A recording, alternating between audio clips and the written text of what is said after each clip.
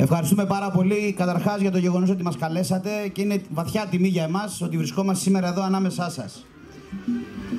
Συνάδελφοι, οι απεργιακές κινητοποιήσεις, οι αγώνες οι οποίοι έχουν αναπτυχθεί αυτό το διάστημα και συνεχίζουν ακόμη και σήμερα στην Κόσκο, στη Λάρκο, στα πετρέλαια Καβάλας, δείχνουν το δρόμο.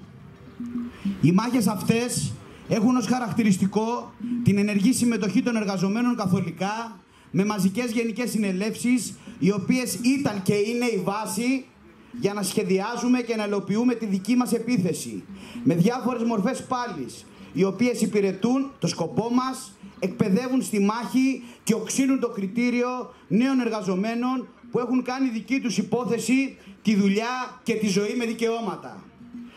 Τα σωματεία μας μέσα από αυτές τις μάχες μπορούν να γίνουν με λύσια επεξεργασιών και κάστρα αγώνα και αυτό είναι το καθήκον όλων μας.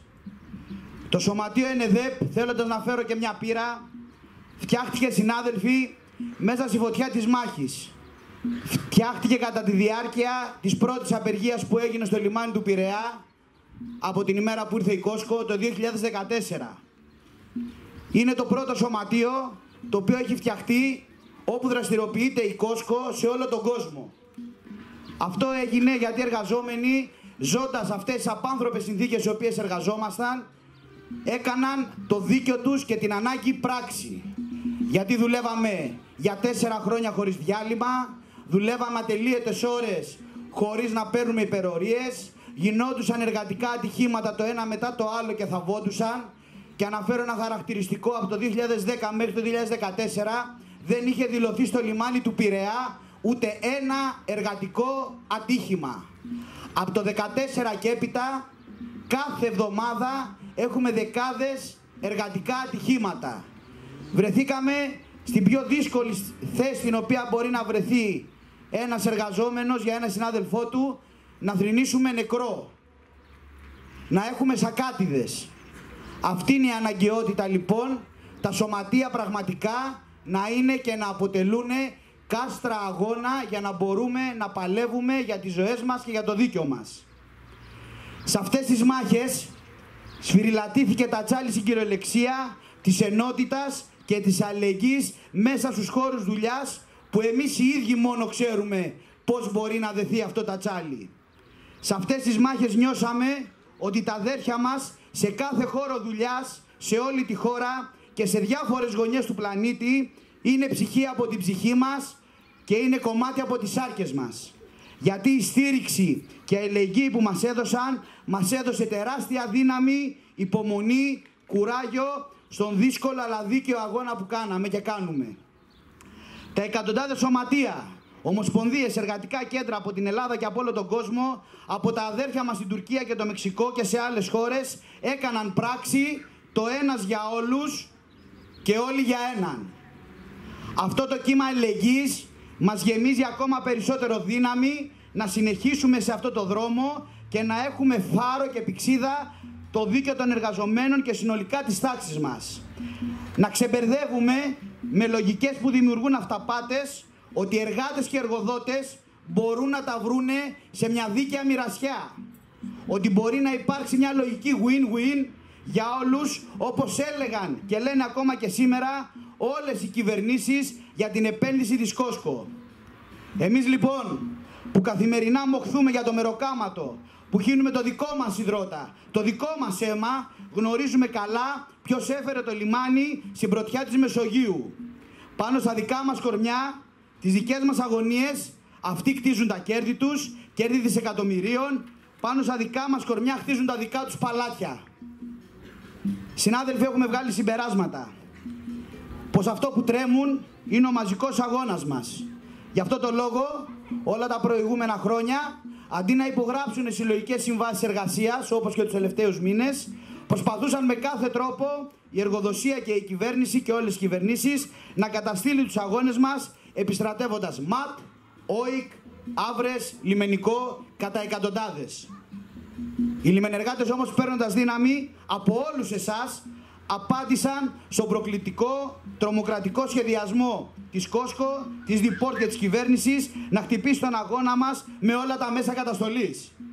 Φάγανε τα μούτρα τους ξανά και ξανά και για να βάλουν μέσα για δουλειά μια χούφτα απεργοσπάστες επιστρατεύσαν εκατοντάδες αστυνομικούς και δυνάμεις καταστολής και έφαγε τα μούτρα της και η ίδια η κυβέρνηση που πήρε το ρόλο του Μπράβου και του Μαντρόσκυλου της Κόσκο. Οι αγώνες του προηγούμενου διαστήματος στην Ιφούτ, στη Λάρκο, στα πετρέλαια Καβάλας, στους οικοδόμους για το δικαίωμα στην εργασία, ο αγώνας των εργαζομένων σε εμάς στο λιμάνι του Πειραιά για μέτρα προστασίας και τώρα για τη συλλογική σύμβαση εργασίας, οικοδόμη με την υπογραφή της κλαδικής συλλογικής σύμβασης που στέφτηκε με επιτυχία, είναι οδηγός και αυτό πρέπει να πυκνώσει σε κάθε χώρο δουλειάς.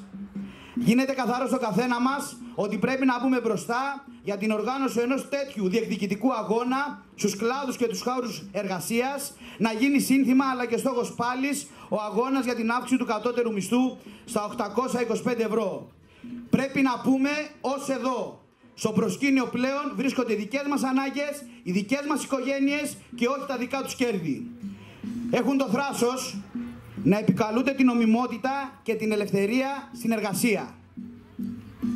Αυτοί που νοιάζονται λοιπόν για την νομιμότητα δεν εφάρμοζαν τόσα χρόνια την ένταξη τη δική μας στα βαρέα και ανθυγινά επαγγέλματα και γενικεύουν την κατάργηση των βαρέων επαγγελμάτων χτυπώντας τους αδέλφους ΟΤΑ. Αυτοί που νοιάζονται για το δικό μας καλό καλούσαν όπως σας είπα πριν και καλούν ακόμα και τώρα τα μέσα, τα σώματα ασφαλείας να μας χτυπήσουν. Και εδώ έχουμε μια πείρα ότι όλοι μαζί, εργοδοσία, κόσκο, εφοπλιστές, τα τσιράκια τους με τα εργοδοτικά παραμάγαζα που έχουν στήσει να συσπηρώνονται και να τους καλούν όλους αυτούς να μας χτυπήσουν εφαρμόζοντας δίθεν την νομιμότητα. Έχουμε λοιπόν καθήκον και εμείς να συσπηρωθούμε και να σταθούμε επιθετικά στο ύψος των περιστάσεων. Συνεχίζουμε στον δρόμο που έχουμε χαράξει. Μαζικοποιούμε και δυναμώνουμε τους αγώνες, οργανωνόμαστε ώστε να κερδίσουμε αυτά που δικαιούμαστε, αυτά τα οποία στερούν από τις οικογένειές μας. Φέροντας μια πείρα για τον καυγά που έχει ξεσπάσει το τελευταίο διάστημα μεταξύ των εφοπλιστών και άλλων επιχειρηματιών, δημοτικών αρχών και επιμελητηρίων του Πειραιά με την Κόσκο, ένας καυγάς που έχει γίνει ακόμα πιο έντονος από την αρχή του πολέμου στην Ουκρανία. Για παράδειγμα, εργοδότες στη ζώνη σηκώνουν αντιεπικιακό αγώνα και κρεμούν πανό ενάντια στο κινέζικο μονοπόλιο. Είναι ανταγωνισμοί όχι για τα δικά μας συμφέροντα και τις ζωές μας, αλλά για τη μοιρασιά της Λίας. Αυτοί που τάχα εναντιώνονται στην Κόσκο από τη μέρα που έγινε το εργοδοτικό έγκλημα όπου σκοτώθηκε ο συνάδελφός μας ο Δημήτρης Οδακλής, άφησαν στην άκρη όλες τις διακηρύξεις και τις κόντρες τους για να θάψουν όλοι μαζί τις ευθύνες για το θάνατο του δικού μας ανθρώπου. Τους ένωσε λοιπόν το κοινό συμφέρον που είναι η εκμετάλλευση των εργαζομένων. Χρόνια τώρα βλέπουμε το ίδιο έργο με όλων των ειδών της κυβερνήσης. Δεν μπορούμε να έχουμε καμία εμπιστοσύνη ότι θα βρεθεί κάποιος κυβερνητικός μεσίας και θα λύσει τα δικά μας προβλήματα.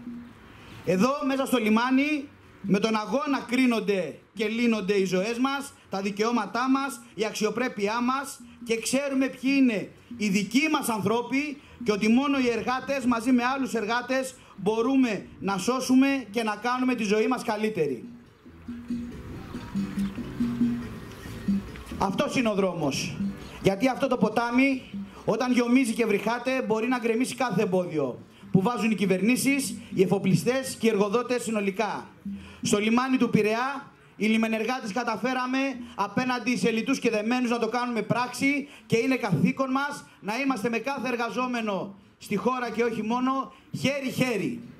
Το τεράστιο κύμα συμπαράστασης και αλληλεγγύης που εκφράζεται απέναντι στο δίκαιο αγώνα μας επιβεβαιώνει ότι όλοι μαζί μια γροθιά μπορούμε να σπάσουμε κάθε αδιαλεξία, κάθε τρομοκρατία και αυτή την ενότητα πρέπει να γενικεύσουμε σε όλο τον Πειραιά, σε όλη τη χώρα αυτή η ενότητα να εκφραστεί απέναντι στα σχέδια της ίδιας κυβέρνησης, αυτή η μαζική κινητοποίηση από κάθε σωματείο, από κάθε, από κάθε συλλογικό φορέα μπορεί και θα στείλει στα σκουπίδια κάθε αντεργατικό νόμο, κάθε τρομονόμο και έχουμε καθήκον κάθε σχέδιο καταστολής να μας βρει όλους ενωμένους και αυτό είναι στο δικό μας χέρι. Η δική μας μάχη μας εξόπλησε με πείρα. Ότι όταν ενωνόμαστε και αποφασίζουμε να παλέψουμε, μπορούμε πραγματικά να φέρουμε τα πάνω κάτω. Με τη δική μας οργάνωση, με τα δικά μας ειδικάτα, πιο μαζικά και μέσα από τη μαζική συμμετοχή μας μπορεί να αντιπαλέψει αφεντικά και εργοδοτικά σκυλιά και όλο το μηχανισμό καταστολής. Όλο αυτό το διάστημα με τη στήριξή σας καταφέραμε πολλά. Δεν θαύτηκαν τα ατυχήματα των συναδέλφων μας, όπως ο θάνατος του Δημήτρη, ούτε το σοβαρό ατύχημα του Παναγιώτη. Αναδείξαμε το τι ισχύει στον υποτιθέμενο παράδεισο της Κόσκο, σπάσαμε την ομερτά των μέσων μαζικής ενημέρωσης. Σε κάθε χώρο δουλειάς μιλάνε και συζητιόνται αυτά. Μιλάνε για το εργοδοτικό έγκλημα, μιλάνε για το εργασιακό γκέτο στο λιμάνι, αλλά μιλάνε και για τους αγώνες και ότι όλοι πρέπει να ακολουθήσουμε κατά χώρο, κατά κλάδο, το δρόμο αυτό που έχει χαραχτεί. Για μας αυτό αποτελεί και τη μεγαλύτερη τιμή που μπορεί να μας γίνει. Η δική μας μάχη έκανε καθαρό ποιον έχουμε απέναντί μας. Από τη μια, την ίδια την εργοδοσία της Κόσκο, που πλουτίζει πάνω στις δικές μας πλάτες, γενικεύοντας συμβάσεις μερικής απασχόλησης, δηλαδή μισή ζωή για εκατοντάδες συναδέλφους. Από την άλλη, την ίδια την κυβέρνηση αλλά και τι προηγούμενες που τρέχουν να προστατέψουν με κάθε τρόπο τα κέρδη της, βγάζοντας κάθε δίκαια απεργιακή μας κινητοποίηση παράνομη, στέλνοντας όλα τα μαντρόσκυλα να μας χτυπήσουν. Αυτό τον αγώνα μας τον εντάσσουμε λοιπόν στη συνολική πάλι όλων των εργαζομένων στη χώρα. Γιατί μόνο ένας μαζικός εργανομένος αγώνας μπορεί και θα οδηγήσει σε νίκες. Ό,τι και να κάνουν, οι εργατικοί αγώνες δεν ποινικοποιούνται, όπως και το τέλος ταξικής πάλης δεν επιβάλλεται με νόμους, όπως φαντάζεται η σημερινή κυβέρνηση, οι προηγούμενες, αλλά και οι πρόγονοί τους. Το ταξικό συνδικαλιστικό κίνημα της χώρας μας έχει τεράστια εμπειρία. Πατάει πάνω σε αίμα και ξέρει να αγνοεί και να προσπερνά την τρομοκρατία, τις συλλήψεις, τις παράνομες απεργίες, να μην υποχωρεί μπροστά στο κύμα της εργοδοτικής βίας. Οι καθημερινοί αγώνες που ξεπηδούν σε κλάδους, σε εργασιακούς χώρους και γειτονιές είναι ανάγκη να πυκνώσουν. Είναι, αν θέλετε, και μια επιπλέον υποχρέωσή μας, ένα ακόμα καθήκον, να είμαστε σήμερα εδώ ανάμεσά σας. Ο λαός μας πλήρωσε τα τελευταία χρόνια και συνεχίζει να πληρώνει πολύ μεγάλο τύπημα για την ανάκαμψη των κερδών των επιχειρηματικών ομήλων. Το πληρώσαμε με μειώσεις, πολιετέ πάγωμα μισθών, με σαρωτικό χτύπημα συντάξεις και στα ασφαλιστικά δικαιώματα. Σήμερα δεν πρέπει να πληρώσουμε ξανά και ξανά για τα κέρδη των εκμεταλλευτών μας. Τα 713 ευρώ για έναν εργαζόμενο με τετράωρο είναι 355 ευρώ, συνάδελφοι. Είναι μισθοί που δεν καλύπτουν το νίκη, το ρεύμα, τις βασικές ανάγκες για τροφή, στην ψυχαγωγία. Προκλητικά, φέρνω ένα παράδειγμα και από άλλο κλάδο, οι ξενοδόχοι και άλλοι εργοδότες του κλάδου του τουρισμού παραπονιούνται για την έλλειψη προσωπικού. Ο λαός μας το λέει κάπως αλλιώς. Γλυκάθηκε η γριά σας σίκα και έφαγε και, και τα σηκώφυλλα. Έμαθα 10 χρόνια τώρα να απασχολούν τσάμπα εργάτες χωρίς συλλογικές συμβάσεις εργασίες, να τους κλέβουν τα ένσημα, να τους κοιμήσουν σε κοντέινερ, να τους αφήνουν και απλήρωτους και τώρα θέλουν ξανά να βγάλουν αμύθιτα κέρδη σε μία σεζόν με τσάμπα εργάτες. Καλούμε λοιπόν τους, εργαδότε, τους εργαζόμενους, να μην δεχτούμε τη ζωή με τα ψίχουλα, να βάλουμε μπροστά τις διεκδικήσεις μας. Οι συνδικαλιστικές οργανώσεις πρέπει να πάρουν την υπόθεση στα χέρια τους, να σημάνει ξεσηκωμός για ένα κύμα διεκδικήσεων που θα βάζει στο κέντρο το σύνθημα για αυξήσεις στους μισθούς, συντάξεις, τις κοινωνικές παροχές, την υγεία, την πρόνοια και την παιδεία των παιδιών μας. Η κυβέρνηση Νέας Δημοκρατίας, παίρνοντας σκητάλη από την προηγούμενη του ΣΥΡΙΖΑ, εξακολουθεί να παρεμβαίνει σε ελεύθερες συλλογικές διαπραγματεύσεις ορίζει με διάταγμα το ύψος του κατώτερου μισθού.